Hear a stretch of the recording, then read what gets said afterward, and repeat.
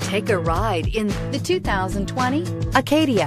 The GMC Acadia has great capability coupled with exceptional safety, offering better highway fuel economy than any other eight passenger SUV, advanced technology, and thoughtful ergonomics.